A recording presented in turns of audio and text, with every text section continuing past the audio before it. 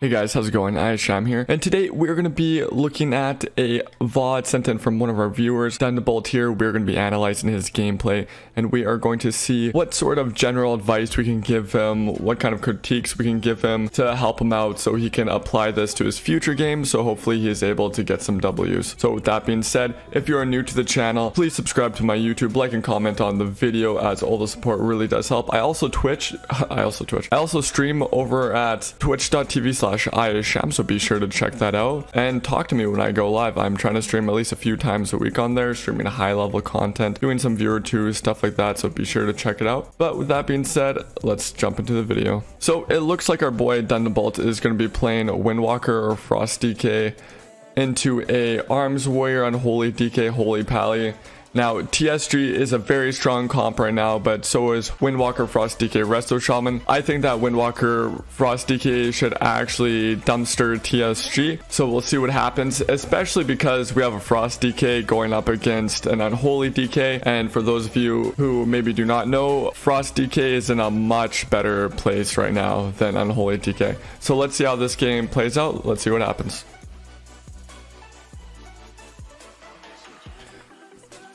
So we're charging in Ghost Wolf, not a bad choice. I mean, you had time at the start of the game to mount up, but that's your little thing, doesn't really matter. Also, if you mounted up, you probably would have been able to kick the Holy Pally's Ashen Hallow, but that's neither here or there.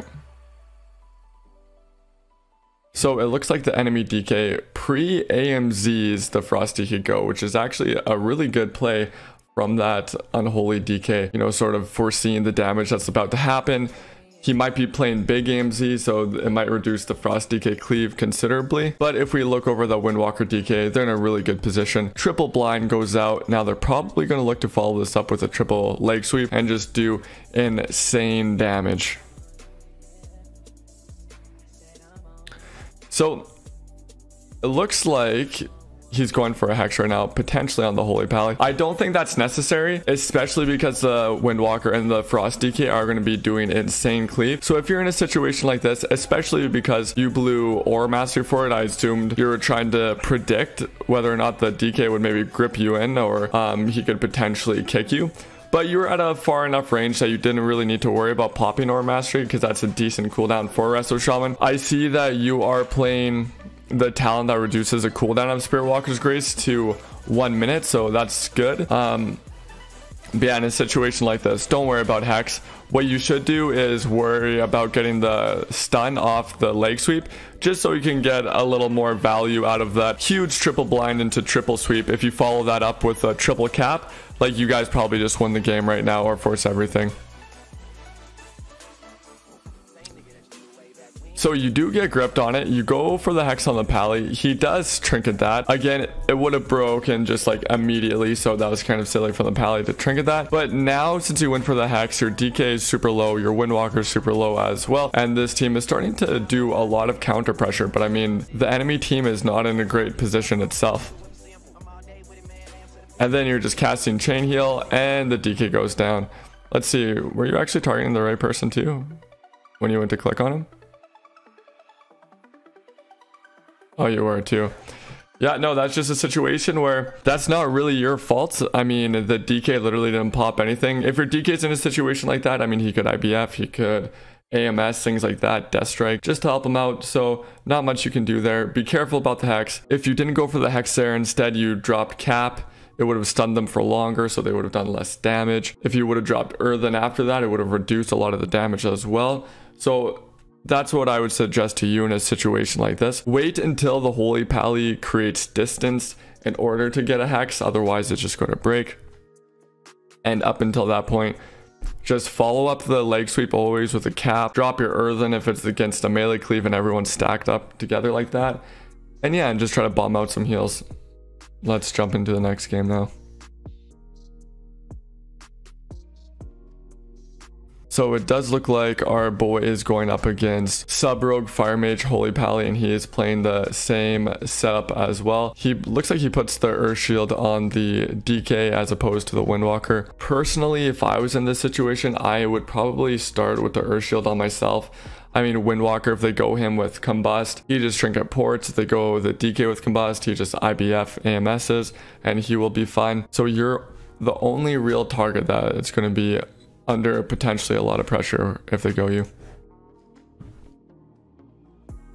So again, just running in, no mount, that's okay. Position kind of in the open, kind of an awkward spot. If I were you, I would try to just run straight to the tomb or play back to the room. Also, you can maybe make a beeline over to this tomb right here.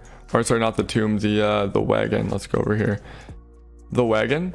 But it's risky to do that because they're all in stealth. The rogue could easily sap you while you transition over there or the mage could DB sheep you as well. But playing over next by, to your teammates is probably also a good place to be in a situation like this. So if we look over here, the shaman is sap, the windwalker's cheap shot, DK might be followed up with some CC right now. Rogue pops dance, he pops his um, cold blood right here. Should be decent damage on the windwalker. We'll see if the fire mage combusts late. So he does combust late there, obviously chunking the Windwalker a lot. So we do decide to trinket. I think we dropped the link as well. So overall, that is that's a decent play for what you're given. Usually if you're in a situation like that, your Windwalker should set port somewhere in the room maybe. And then usually how you would want to rotate cooldowns is always have your, whoever they go, essentially you're going to want to trinket and use something. If you're a Windwalker, don't worry about Trinket Karmaing because if you do that, the Pally could bop it off, the Mage could block it. Uh, also, if they don't even have a Holy Pally on the team, if it's like a Priest and you Karma the Rogue or something like that, they can easily go through that, especially with Combust. So don't worry about Karma, just have your Windwalker, Trinket, pour into the room, LOS the DPS, and he'll be 100% fine. So we use a trinket link there. You are in the meteor, so if he she, he can't actually ship you for a little bit. Let's see. You pop the Aura Master again, don't want to deal with the kicks. You're probably going to try to hex either the Holy Pally or the Mage here. Let's see what you end up doing. Big damage on everyone. I mean, this is just a crazy damage potential of Windwalker Frosty, right? This whole team is at 40% or below. So you hex the Pally. Again, I wouldn't worry about hexing the pally there. If we look, the mage has no trinket. He also created a bunch of distance from the team. So if you were to get a full hex on the mage there, it wouldn't break right away because he has all his shields up. He's really far. He's not getting cleaved down. And there's no hex dispel on the team, right? But unfortunately, you hex the Holy Pally there with both of your DPS whacking him. So it breaks immediately. If you look, he also has the sack dot up as well. So even if they weren't hitting him, I'm sure it would break anyways. So just keep that in mind when you play Resto Shaman. You want to try to get the most value out of all your utility, right?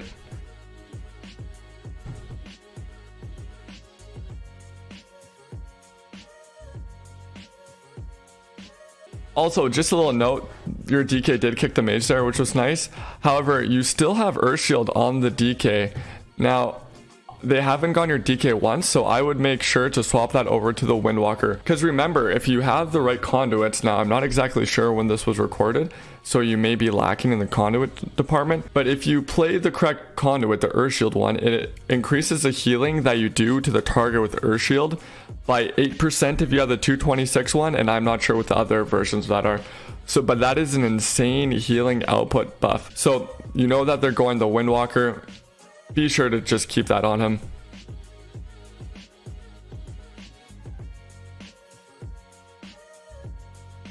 Now the mage was going for a ring of frost. You did decide to kick that, which is not a bad play. And you're in a pretty good spot. I mean, you're behind the pillar. The mage is right over there. However, he could try to blink behind you and get the sheep, but it looks like where he's facing, if he blinks, he's going to go that way instead of this way over here where he could get the sheep. So this is good positioning. Get a nice spell on the DK. You're still lining the mage. Good job. Now, what I would probably do in this situation, uh, let's see, where is your dispel right there? I would dispel your Windwalker. If the mage is going for another sheep after this, then I would kick him and I would put the mage in a full X because again, it looks like you guys are, you know, hitting the rogue a little bit. You're hitting the holy pally try to shut down the mage as best you can so he's unable to peel he's unable to stop the momentum that your team currently has right so you want to try to lock down the mage as best you can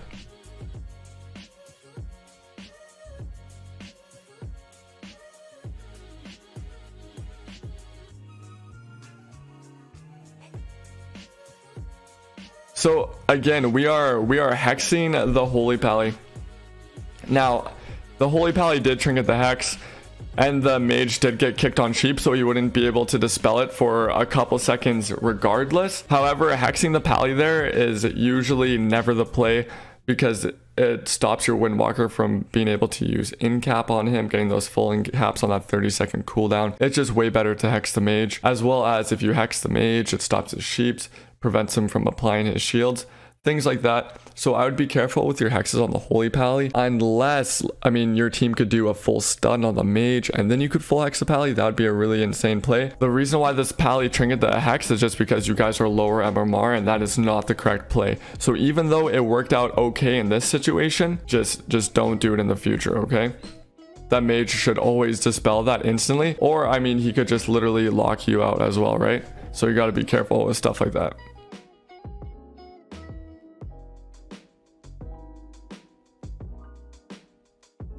Now, the Windwalker did get really low. He did get bombed on, so unfortunately you couldn't do anything for that. But I mean, I'm pretty sure your Windwalker had Karma. I'm pretty sure your Windwalker had cooldowns that wasn't combust either, I believe. So there's no real reason he should have died there. If we go back, I don't even think he was stunned when he died, right? Because you got blinded, he got cheap shot. And then, yeah, he's just not stunned for the duration of this, looks like. So yeah, just a few things to work on. Again, maybe if you would have had Earth Shield on him, he would have lived. Because remember, Earth Shield can hit for like 5 6k if they're low enough and your shaman mastery is going through so it's possible that if you had earth shield on him he would have lived but you just have to remember keep earth shield on the kill target there was no reason for you not to have Earth Shield on your DK there. Also, you don't even have Water Shield. Water Shield's mana regeneration isn't that huge, but it is important to have it on yourself at all times if you aren't getting trained. So just little things like that will make a big difference. And let's jump into the next game.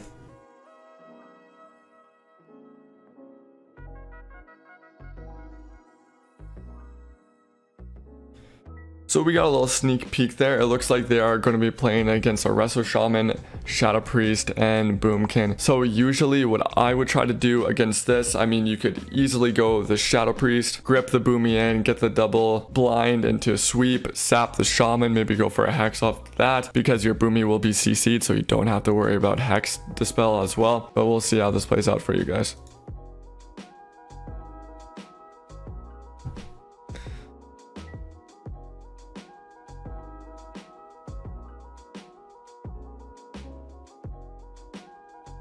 So you are full beamed right here. You have to be careful about getting in a position like this because I know you're trying to line the Shadow Priest maybe from the silence in the opener, but I would try to be with your teammates because again, you're going against Boomy Shadow Priest. The Boomy has instant beam. The only person that can get you out of it is yourself if you trinket it, or if the Windwalker, he uses his Tiger Lust to actually remove the root effect on you. So just push out with your team. You don't need to drop a root. I know you dropped a root on the Shadow Priest. Don't worry about that. It's kind of useless at the start considering the melee DPS will literally just break it instantly right? So just keep that in mind.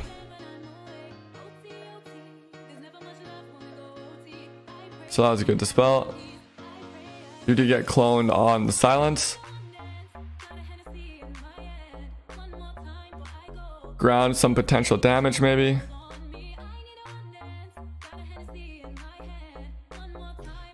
So in a situation like this, you pop the Aura Mastery when the enemy team doesn't have any interrupts. You don't have to worry about the Boomy because he just silenced you with the Root Beam, right? You don't have to worry about the Shadow Priest because he just silenced you into clone. You also don't have to worry about the Shaman because he's probably like 50 yards away from you. So you're just free to cast her. What I would also like to see you do is actually take and actually get value out of your earthen totem. So when they're crushing the boomkin like that, they're doing incredible amounts of damage to the boomkin. I would just drop earthen on it. The boomy's not really kiting. He's not going in bear form. You'll get a lot of value into that. Also, the Boomkin, he thorns himself uh, as well. Make sure you purge that because it does do a lot of damage to the melee DPS who are just hitting into it.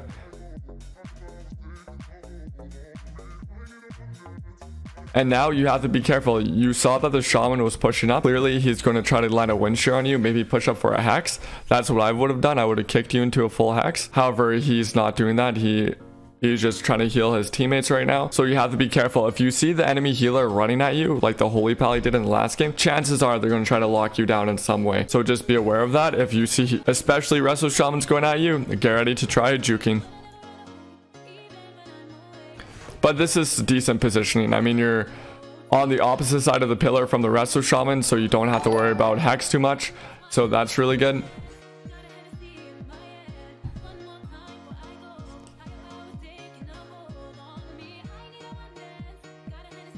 So I honestly don't hate the route behind the pillar into the cap on the shaman.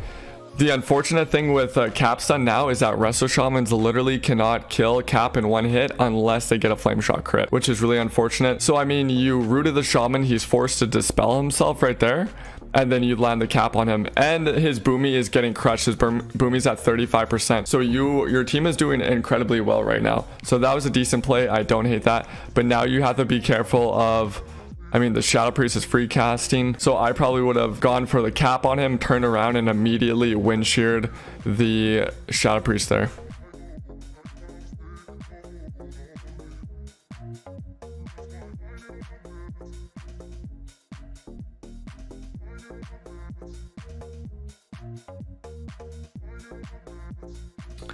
So the shaman tried to do a hex go on you right there. Oh, there's your grounding. So it looks like you do ground. Okay, so that was a good grounding on that. Also, what you can try to do in a situation if you don't have grounding totem for the future, just try to purge the Spirit Walker's Grace because you won't take the Aura Mastery off, but if he's running and casting, it will actually interrupt the spell. But no, that was a good grounding.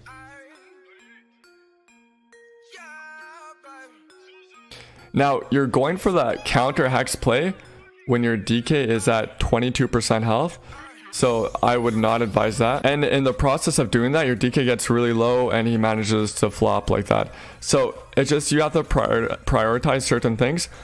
You keep going for hexes on healers when the team has dispel for it and you're unable to cover the DPS, right? So just you're going for too many plays like that. I know it feels great if you're able to get the counter hex on the shaman. I mean, I do stuff like that all the time, but again, it's just it's just not worth it in the end. Also, I need to see you start using your earthen totem more. I don't think you used it once this whole entire game. Now, I could be wrong, but this game was over a minute, so you could have had two earthens already um, if you used one right at the start. So just little things like that you need to keep in um, consideration. Also, your team has to get better at using cooldowns. I'm not listening with volume because a few individuals who are who are sending me their VODs have requested that I don't have their audio in there, which is fine. But you just have to set up some better protocols with your team so you guys figure out what cooldowns do I use. If I'm CC'd, who uses what? If I'm not CC'd, who uses what? And things like that, okay? So it looks like you are going up against Enhancement Shaman, Frost DK, Disc Priest, this should be a super easy comp for you guys to beat, but then again, the enhanced shaman could just one-shot someone, so let's see what happens.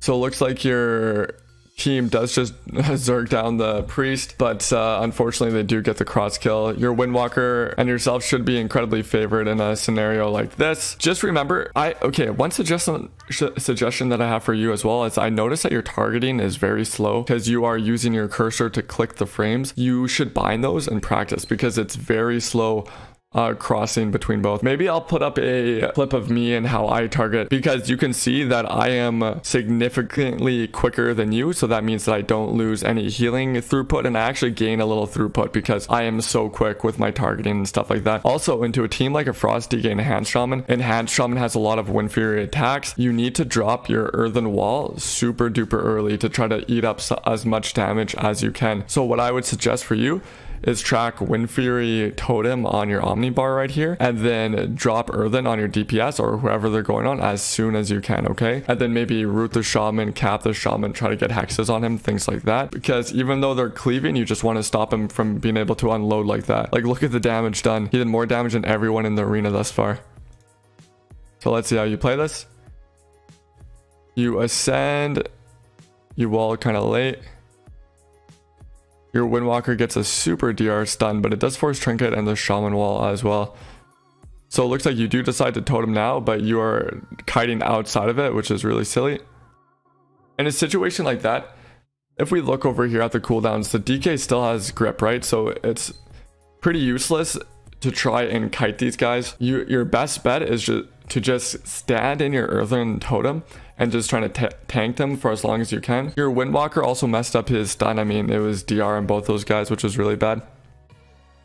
But with that being said, we just got to make the most use out of our cooldowns. Also, a little bit before, you Ascendance, you topped yourself, and then you needed to wall afterwards. And the Shaman still had his cooldowns up, and the DK still had his cooldowns up. So what I would suggest is once you used Ascendance to top yourself, and it was good because your Windwalker was basically topped, so most of the healing got directed to you. Just Ascendance, then top yourself, or sorry, Ascendance. then use wall immediately. That's going to prevent your HP from going down really quickly like it did.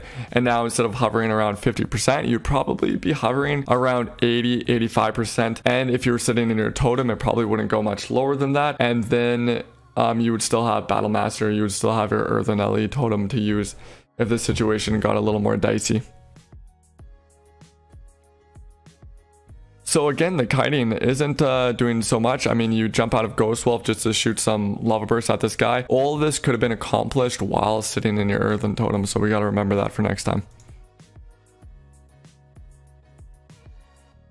Uh, so you're running in Ghost Wolf, which is fine, but be sure if you're running in Ghost Wolf to root the enemy DPS first and then try to create some distance as well. Also, there's a Wind Fury totem right there. You can kill it. I don't know if it really does anything because they still get the buff if they play the legendary, but it still helps to, to kill it. Okay, so the DK, he, he gripped you. That means you can get away freely. Also doesn't look like you have chains on yourself as well. This would be the perfect opportunity to go for a root on both of the DPS because it can't grip you, can't get back. You can't be slowed under a certain percentage, percentage in Ghost Wolf. So that's what I would do. I would just double root the DPS and just run around the pillar and try to live. So you're still not using your root. You're just kind of jumping around, hitting your Riptide. Going for those lava bursts. So again, it's just better cooldown management. You guys do manage to win that. It was a 1600 game. You guys could be doing a lot better. We just have to be a little smarter with our cooldowns. So Windwalker DK going against Arms Warrior, Ret Pally, Resto Shaman. Windwalker Frost DK, I believe, should beat this comp basically most of the time. The Warrior can't really intervene. Plus with the Frost DK playing his cooldown reduction, um, it is actually going to not get that much value. Also, if the warrior intervenes anybody and the Frost DK and the Windwalker are cleaving, it gets double dipped onto the warrior and then he'll just take way more damage and you can shut him down super easily. So you have the Earth Shield on the Windwalker. That's good. That's probably what I would do at the start as well, anticipating a Windwalker go. That's an okay route. I would probably wait a little bit longer. They do get feared. I'd probably push up and hit Tremor. Now, they do pop a bunch of cooldowns on you. Uh, the warrior uses avatars, so you do trade out the wall. I think that's fine. However, where you are kiting is really bad because you are kiting to the Resto Shaman. So the DPS are going to continue to chase you going this way. And but they are going to be in the line of the shaman when you do that because you're about to get stunned probably. And then you're going to be in the middle of the map. What I would do is just not run out because I think you pushed up a little bit to maybe try to get the tremor on the fear. However, instead of going this way, I would actually go this way and kite it back. And then maybe even once you go back to this pillar, kite back to the platform because that way it pulls the Resto Shaman out and he's actually forced to do stuff. Now the DPS swap off you, which is pretty troll. The ret does sack the shaman overlapped with the astral shift and if you look here he also has intervene as well. This would be a great opportunity for your dps to do a go on the shaman just run at him. Because if they do that the ret's gonna get super cleaved down from sack the warrior's gonna get super cleaved down from intervene and you guys should literally just win the game. But again they were going you you used wall so that's why they swapped off. You do not need to be literally two feet away from the ret and a foot away from the warrior. Okay, you should be back like 30 40 yards so they can't swap you for free. Because if they swap you you're gonna have to trinket ascendance and link in order to live. So the shaman ascendance you get the sweep. Some big cleave is coming out. Not as much as i actually would have anticipated. The shaman did have earthland down for that so that maybe helped a little bit Here's some of the damage coming out. I mean, the shaman just, ooh, just instantly goes down. So good job there from your DPS. But yeah, again, we just have to work on positioning. We have to work on some cooldown management. So it looks like we are going to Shadow Priest, Disc Priest, Arms War. Double Mind Games is going to be scary, but it's nothing you guys can't handle. Ooh, we do got a uh, Burning Crusade Gladiator on the Warrior right there, so that's pretty cool. Very rare to see those nowadays. As that was like almost 30 seasons ago. Again, you're doing big healing on the on the Windwalker here. You're going for the Hex when they're kind of stacked up. It's probably going to break instantly. Let's see, do you hex the Disc Priest here? Again, you love to hex healers for literally no reason. This guy, he did trinket that, but I'm not sure if it was overlapped with a stun, so maybe he just trinketed the sweep plate. Don't hex the healers when your team is going to make it zero value. You know what would have been literally the perfect hex in this situation is to hex the priest the Shadow Priest because the Shadow Priest, he used his trinket on the sweep. You could have instantly hexed him so you don't have to worry about swap. You don't have to worry about silence. You don't have to worry about priest stun. You don't have to worry about priest shields, priest heals. And then you guys probably would have just won the game if you don't already right now because these guys don't know how to live. Drop Earthen on the go. I mean, there's no reason to when the warrior's hitting your DPS just try to keep them as offensive as possible because when they're 50%, sub 50%, you don't really feel that safe, right? Oh, I just realized too, this Disc Priest is super under gear. Oh, wait, no, he's not. He's at 50% at 60k. Okay, he's not that bad. I thought it was 16k total.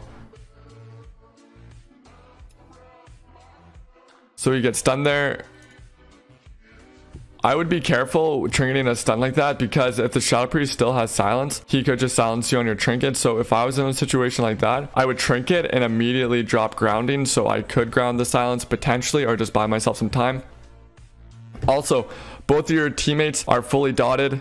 Earthen Totem would be super valuable in this situation just to reduce some of the damage.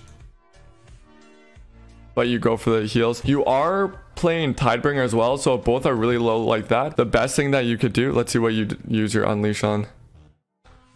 You go for an Unleash Healing Surge here. Oh no, looks like you Unleash Riptide maybe? Yeah, you do. Okay, so or no, sorry, you have the unleash buff still, but you go for the unleash healing surge when your teammate is both dead. What you need to do in that situation is pop your blood fury for the extra healing bonus. And then you should unleash, target the person with your Earth Shield because it does a little more direct healing, and then just chain heal and do two chain heals. Once you do the two chain heals, drop Earthen, and then your teammates would be 100% fine. But again, you're just spamming out you are just spamming out the healing surges. Which is okay. Chain heal is definitely a lot better in that situation though. You do get mind games on yourself, so you need to dispel that right away. Good dispel. Make sure you're landing kicks on the, the healer and stuff. So, I'm not sure if your Windwalker is playing Diffuse. He should. As soon as he gets Mind Games, if he just diffuses that over onto the Shadow Priest, that would help a lot. and stop his passive off healing from helping out the Warrior and the Disc. Make sure you're using wind shear and actually getting value out of that, okay? You could still hex the Shadow Priest as well. That would still be really good. You don't have to worry about swap if he's playing it. Or you could have kicked Penance there. I would tremor that. Wait, where's your tremor? I don't even... Oh, it's right there, so it's on cooldown? Okay. So you do kick the disc. He does go down. Super easy game again, the majority of the time when it comes from breaking out of the lower MMR trap, I mean, you're playing a really good comp, so you can't even use that as an excuse. Windwalker Frosty is probably the best comp for Resto Shaman for the ladder specifically. But it's just about cooldown management, it's about proper strats, it's about initiating protocols with your teammates so if something happens, you know how to respond so you don't overlap cooldowns or you don't underuse cooldowns. Man, that was a good, good one.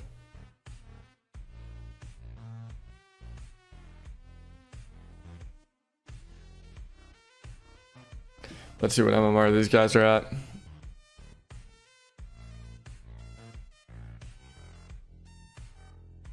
Seventeen hundo, not bad. So I think this is going to be the last game that I'm going to go over for now. But we have a Disc Priest, we have an Arms Warrior, and we have a Windwalker. So we should see how this team does into this. I mean, the enemy team has a Disc Priest, so I think you guys are favored to win just based off that fact alone as well. Frost DK does super well into Arms Warrior. It counters the Intervene. If he intervenes the Windwalker, if he intervenes the Disc, he'll just get double dipped with all the cleave damage.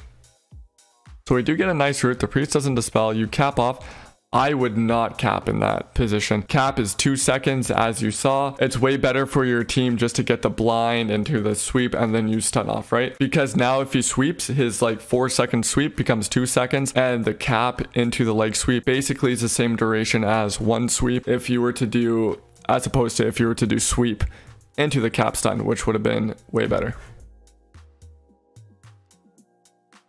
So you hex the Windwalker there. Honestly, the hex on the Windwalker right there was a fine hex. That was a good hex. It forces a trinket on the Windwalker. Totally okay with that. However, your Windwalker cannot get a nice um, triple sweep is because everyone's DR'd for your cap.